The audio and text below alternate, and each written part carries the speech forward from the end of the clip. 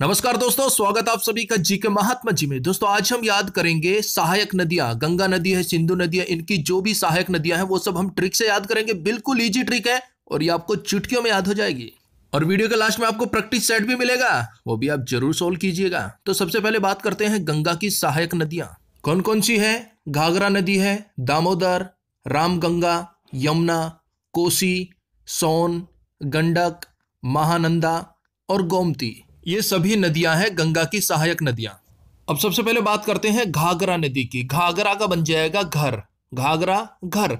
और घर में आपको पता ही है, हम सब गंगा जल रखते हैं। गंगा जल सबसे पवित्र माना जाता है ना? तो घरों में लोग गंगा जल रखते हैं। तो घाघरा का हो जाएगा घर और घर में लोग क्या रखते हैं? गंगा जल। अब नेक्स्ट है दामोदर नदी। अब देखिए दामोदर को हम रिलेट करेंगे दमदार से। दामोदर, दमदार। अब कोई पूछा जाए कि भाई भारत की सबसे दमदार नदी कौन सी है? तो गंगा नदी कहेंगे ना हम, भाई भारत की सबसे लंबी नदी है, गंगा नदी, और सबसे पवित्र नदी है गंगा नदी। तो सबसे दमदार नदी कौन सी हो गई? गंगा नदी हो गई ना। दोस्तों, एक बात नोट कर लीजिए, वैसे तो ब्रह्मपुत्र और सिंधु नदी की लंबाई गंगा नदी से अधिक है, लेकिन वो भारत के अंदर नहीं है, वो भारत के बाहर है। भारत के जो अंदरूनी एरिया है ना, भारत का जो भूस्थल है, वहाँ सबसे लंबी नदी है गंगा नदी। नेक्स्ट है राम गंगा नदी। अब देखिए, इसमें गंगा आ रहा है, कोई प्रॉब्लम नहीं होगी। गंगा नदी की सहायक नदी है, राम गंगा नदी, गंगा गंगा आ रहा है दोनों में। नेक्स्ट है, यमुना नदी। अब यमुना नदी को एक तो बिल्कुल सिंपल है, कहावत है ना, गंगा यमुना गंगा यमुना, दोनों बहने बहने लगती है ना, गंगा यमुना। तो ऐसे याद रख सकते हैं। या फिर दूसरा तरीका ये है, यमुना यानी कि मुन्ना। और नेक्स्ट है, कोसी नदी। कोसी को हम रिलेट करेंगे कोशिश से। और सोन नदी है उसके बाद। सोन नदी को रिलेट करेंगे सोने से। और उसके बाद है गंडक। गंडक को रिलेट करेंगे हम ठंडक से। अब देखिए इन चारों का क्या बनेगा? यमुना यानी कि मुन्ना। कोसी कोशिश कर सोन, सोजा। मुन्ना कोशिश कर सो जा अब मुन्ना कहता है, क्यों माँ? क्यों सो जाऊँ अरे बेटा, बाहर ठंडक है। गंडक यानी कि ठंडक है बेटा, बाहर। मुन्ना कोशिश कर सो जा क्यों माँ? अरे बेटा, बाहर ठंडक है, यानी कि गंडक नदी। अब नेक्स्ट है, देखिए, महानंदा नदी।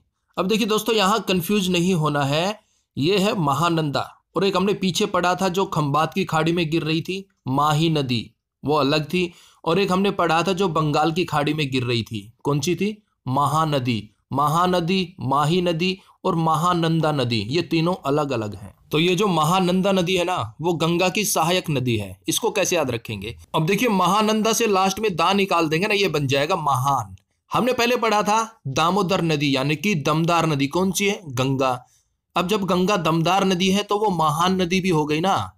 महानंदा, यानी कि महान नदी कौन सी हो गई? गंगा नदी हो गई। भाई, वो दमदार भी है, महान भी है। कौन सी? गंगा नदी। तो महानंदा हो गई गंगा की सहायक। नेक्स्ट है, गोमती नदी। अब देखिए, गोमती का हो जाएगा गौ माता गोमती। गौ माता वही सारी है ना? गोमती गौ माता अब आपको पता है, जो गाय माता है, गऊ है, वो पवित्र होती है। किसकी तरह? गंगा नदी भी पवित्र है और गाय भी पवित्र है। तो दोनों का आपस में हो गया ना संबंध? तो गौ माता, यानी कि गोमती नदी किसकी सहायक नदी हो गई? गंगा की। दोनों पवित्र हैं। तो चलिए एक बार फिर से देख लेते हैं इन सभी को फटाफट। देखिए, गंगा की सहायक नदी है घाघरा नदी। घाघरा यानी कि घर। और घर में हम गंगा जल रखते हैं क्योंकि वो पवित्र होता है। नेक्स्ट है दामोदर नदी। जो हमारी गंगा नदी है ना, वो सबसे दमदार नदी है, सबसे बड़ी नदी है। तो दामोदर नदी हो गई, गंगा की सहायक नदी। नेक्स्ट है, राम गंगा। इसमें गंगा आ रहा है और वहाँ भी गंगा है सेम है।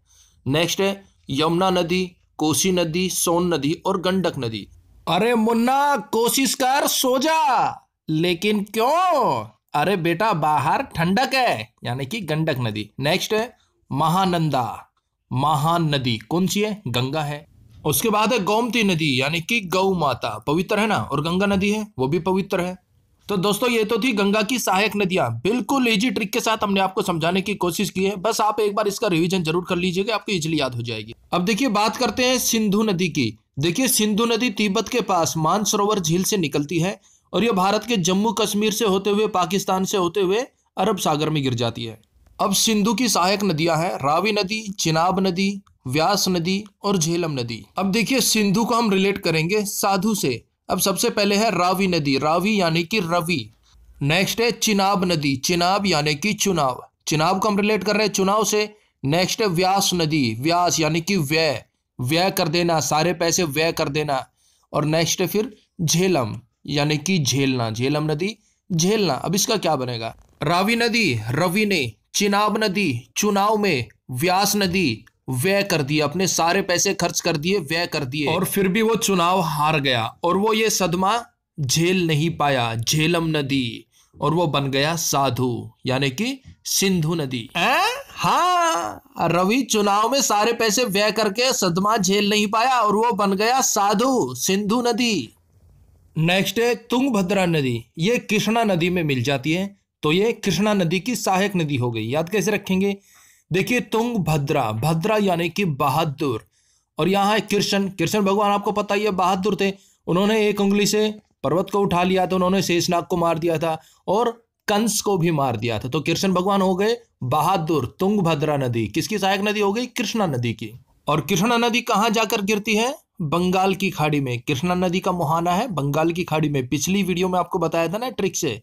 बंगले में कृष्ण भगवान की ब्रह्मा जी की पूजा करेंगे। अब नेक्स्ट है बेतवा और चंबल नदी। ये दोनों नदी सहायक है यमुना नदी की। और यमुना नदी किसकी सहायक नदी है? गंगा नदी की। और गंगा नदी कहाँ जाकर गिरती है? बंगाल की खाड़ी में। अब देखिए, बेतवा से हो जाएगा बेटा। बेतवा, बेटा, चंबल, कंबल। बेटा, कंबल उड़ा दे। किसको? मुन्ना को। यमुना, मुन्ना को। बेटा, कंबल उड़ा दे मुन्ना को। तो बेतवा और चंबल नदी किसकी सहायक नदी हो गई? यमुना की। नेक्स्ट है, बनास और सिप्रा नदी। ये चंबल नदी की सहायक है। और चंबल नदी की सहायक नदी थी? यमुना नदी की। और यमुना नदी किसकी सहायक नदी थी? गंगा नदी की। दोस्तों, ये स्टेप वाइज चलती है, बस आप इन्हें एक बार ध्यान से समझ लीजिए, आप ज़िंदगी भर नहीं भूलेंगे। अब देखिए, बनास और सिपरा, ये हो गई चंबल नदी की सहायक नदियाँ। याद कैसे रखेंगे? देखिए, बनास से बन जाएगा बनारसी और सिपरा से बन जाएगा छिपरा, छपरा, यानी कि छपाई। क्या बनेगा? बनारसी छपाई वाला चाहिए कंबल। चंबल है ना यहाँ पे, चंबल नदी। चंबल नदी को हम रिलेट कर रहे हैं कंबल से। बंदा क्या कह रहा है कि बनारसी छपाई वाला कंबल चाहिए? तो बनास और सिपरा नदी कहाँ मिलती है? चंबल नदी में। और चंबल नदी यमुना में, यमुना नदी गंगा में, गंगा नदी बंगाल की खाड़ी में। तो ये बिल्कुल ईजी था दोस्तों, अब हो जाए एक प्यारा सा प्रैक्टिस सेट और दोस्तों, आप इस तरह की और भी ट्रिक वीडियो देखना चाहते हैं तो हमने हर वीडियो के डिस्क्रिप्शन में प्लेलिस्ट बनाकर उनका लिंक दिया हुआ है। वो भी वीडियो आपके लिए काफ़ी हेल्पफुल होंगी, वो वहाँ से आप देख सकते हैं। पहला क्वेश्चन निम्न में से कौन सी नदी, गंगा नदी की सहायक नदी है? ऑप्शन डी दामोदर नदी। आपको बताया था ना, दामोदर दमदार नदी, कौन सी है? गंगा नदी। नेक्स्ट निम्न में से कौन सी नदी कृष्णा नदी की सहायक नदी है? कृष्ण भगवान। ऑप्शन बी तुंगभद्रा नदी। भद्रा यानी कि बहादुर है कृष्ण भगवान। शेषनाग को मार दिया था, एक उंगली पे पर्वत को उठा लिया था। तो बहादुर थे ना कृष्ण भगवान। नेक्स्ट झेलम नदी निम्न में से किसकी सहायक नदी है? ऑप्शन ए सिंधु नदी, सिंधु यानी कि साधु बन गया था बंदा। कब? जब वो चुनाव में हार गया था, झेल नहीं पाया झेलम नदी तो वो साधु बन गया था, सिंधु नदी। नेक्स्ट बनास और सिप्रा नदी, किसकी सहायक नदियाँ हैं? ऑप्शन सी चंबल नदी। चंबल यानी कि कंबल। कैसा चाहिए था? बनारसी छपाई वाला कंबल चाहिए था ना? और नेक्स्ट बेतवा और चंबल नदी, किसकी सहायक नदियाँ हैं? ऑप्शन बी, यमुना नदी की बेतवा, यानी कि बेटा चंबल, कंबल उड़ा दे मुन्ना को, बेटा कंबल उड़ा दे मुन्ना को, यानी कि यमुना नदी। नेक्स्ट निम्न में से कौन सी नदी, गंगा नदी की सहायक नदी नहीं है? ऑप्शन डी रावी नदी। सहायक नदी नहीं है ये गंगा की। रावी नदी किसकी सहायक नदी है? सिंधु नदी की रवि इलेक्शन हार गया था, चुनाव हार गया था तो साधु बन गया था सिंधु नदी। नेक्स्ट निम्न में से कौन सी नदी? सिंधु नदी की सहायक नदी नहीं है। ऑप्शन ए गंडक नदी। ये गंगा नदी की सहायक नदी है, बाकी तीनों सिंधु नदी की सहायक नदी है। नेक्स्ट गोमती नदी किस नदी की सहायक नदी है? ऑप्शन डी गंगा नदी। आपको बताया था ना, गोमती गौ माता पवित्र है ना? और गंगा नदी, वो भी पवित्र है। तो गोमती नदी हो गई गंगा नदी की सहायक नदी। भाइयों, बहनों, नमस्ते। मित्र नेक्स्ट क्वेश्चन आप सभी के लिए चैलेंज होगा। मौसमी घटनाएँ वायुमंडल के किस मंडल में घटित होती है, इसका करारा जवाब चाहिए। हाँ नमस्ते जी। हेलो जी, मोदी जी, ये आप कठिन सवाल पूछ रहे हो जी? लेकिन आम आदमी इसका जवाब देगा जी और करारा जवाब देगा जी। तो दोस्तों दीजिए फटाफट इसका सही सही जवाब और इस वीडियो के बारे में आपका कोई भी सुझाव, कोई भी चेंजमेंट कराना हो तो प्लीज़ आप अपने अनमोल सुझाव हमें कमेंट्स बॉक्स में ज़रूर दीजिएगा। तो मिलते हैं नेक्स्ट वीडियो में, तब तक के लिए जय हिंद, जय भारत।